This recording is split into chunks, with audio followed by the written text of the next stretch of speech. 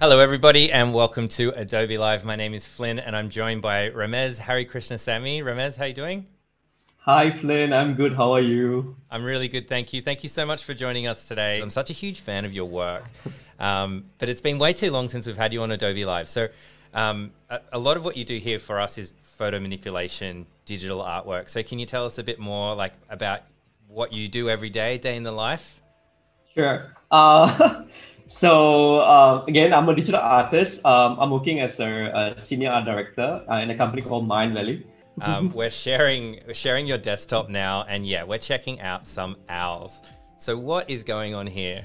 So I was thinking to create a character from the movie uh, Legends of the Guardians. I'm not sure if you guys watched it before. It was out like 10 years ago. Um, again, directed by Zack Snyder. Um, I think it would be nice to just recreate the owl I think I want to create a story where, again, just imagine Owl um, is rescuing a scroll. Um, in this session, I will literally recreate the Viking helmets. Like, for example, I will use okay. some elements from stock images, but I will show you how I create it from scratch. So, yeah. Amazing. Awesome. So, we're going to start off with um, adding the background. So, I'm going to just drag in an image of the sky. There you go. So I have a stock image here, uh, image of the sky. I'm gonna just blow it up really big, like this, uh, maybe larger. I'm gonna just place it somewhere here, like this. Just open up my layers so that you guys can see how it's done.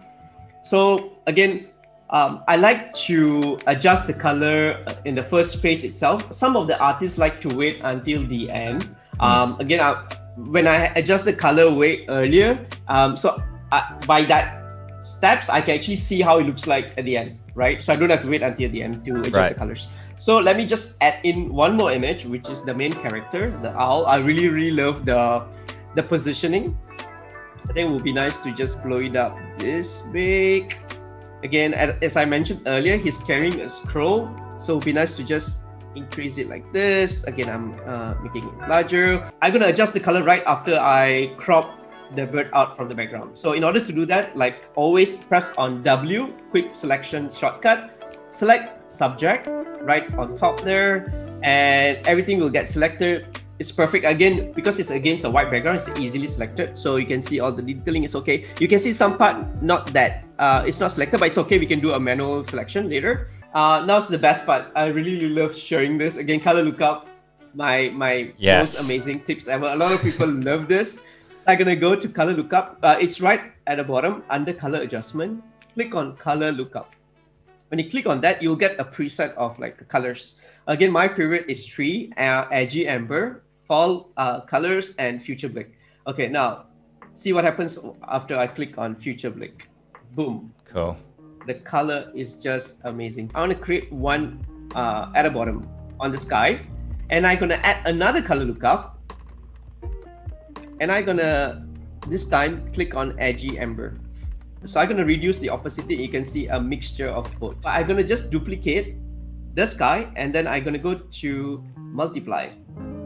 Now, do you see the difference? The lighting is super important in photo manipulation so that you know people should question it whether it's real or photo manipulation. In order to achieve that, mm. that's why I always always say that always make sure that you adjust the colors um, uh, so that it looks real. And I'm gonna press on brightness and contrast and i'm going to mask it because again i'm going to just adjust the uh, owl for now i'm going to leave the background because we can always do a final touch later on and this is the owl and I'm gonna make sure that it looks darker like this. So when I slide, you can see it it doesn't like the brightness is amazing in Photoshop because it's it's not da- just darkening it, but it's also maintaining the texture of the owl's fur. If you notice, like for example, it's mm. it's right like this is super amazing. So I'm gonna just make this darker slightly, just like this. Okay, right? Uh, and then you can see you still have some lighting on top, which is perfect. I can use that as a guidance uh, to create some sort of like a lighting at the back. Always make sure that your flow is lowered. Opacity, you can maintain at 100%, so you don't have to worry so much about that. Flow is like the intensity of the brush. Mm. And smoothing, you can just leave it at 10%. Unless you're drawing a very smooth curves, then you probably want to increase the smoothing So I'm gonna just go in here and create the lighting. There you go. And so you're thinking about where the, the light is coming from from the, the clouds, right? Like it's coming Yes. from that particular Yeah. direction and you're trying Yes. to kind of yeah. Okay. So I'm Cool. trying to recreate the lighting uh, based on what I have. I can show you before and after so you guys know what am I doing all this while. So I'm gonna go to the masking there and I'm gonna right click and disable the layer. Just focus on the owl. Can you see that? Yeah. It's flat. So but once I on it, you can see the lighting start to Mm. come up. I'm gonna darken this area. Right, which makes more sense because the light is flashing from the top. So I need to make sure that these areas are darkened. Again, when you start adding more and more effects like this, like darkening area and stuff like that, your subject will be rather than looking flat, it looks like a 3D yeah. uh, something that you can achieve just using Photoshop. Again, not talking about any other 3D software. You can create that using uh, Photoshop itself. Before I create this, right, by just looking at all the stock images, which I'm just going to show you guys what we have. Like for example, these are the stock images that I have. Right, so we we already have the Viking King helmet, but trust me, it won't look the same. so let's see before and after how it looks like before and after uh, adding in shadows. Right, so I'm gonna hide the shadows now. Can you see it looks flat? And if I hide the brightness, it's even flat. Mm. So again, it increases the detailing part of the, the, the subject that we have. And nearby the ankle here, the, the leg, we're gonna add in uh, like a accessories. Accessories. I like it. Yes. so I have this stock image over here. I'm gonna just get press on W, select subject. Uh, I'm gonna just uh, resize it. Again, whatever techniques that I'm showing here, uh, is like the same answer or, uh, or, or the same step that I will use to create my other manipulations that you see on my social media. Obviously, the owl is holding the scroll, so I'm gonna bring this scroll right below the owl, just like this. Nice. There you go.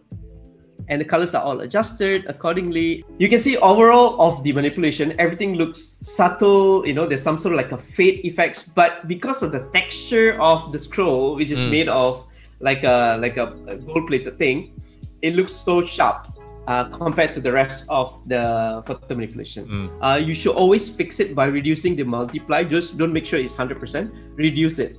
When you reduce it, and then maybe like 40, 50%, see before and after. There's a difference, right? Mm. Uh, and now I'm going to slowly remove the lines around it. You literally can do this in one click of a button. All you have to do is click on the scroll, on the masking, go to filter, other, and click on minimum. Once you click that, you get to see the line is now gone, right? Mm. Obviously, it's depending on the radius of the outline. So if I were to increase the radius, the more uh, thing will get masked out. So uh, for me, just one will work, one pixel.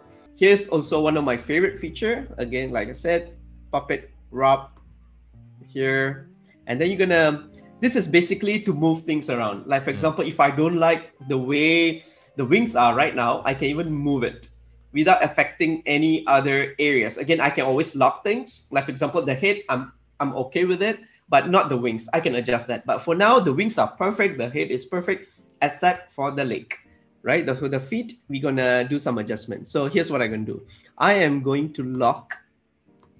So I'm gonna pin this. Basically, it's an area where I don't want things to move, right? Later, I'll show a quick demo how this works. For example, I'm gonna lock every part of the owl's body to say that I am not going to move any of this except for the leg. So here you go, done. Okay, see what happens if I move this. Any other Very part of the body will never move because I am controlling this using the pin. And I am, again, like I said, the nail supposed to be in in one of the hole. Again, I need to uh, imagine this, right? This is happening in front of my eyes. Mm. So I know that the owl literally will slot in the nail into one of the hole and this one into this hole. And yeah.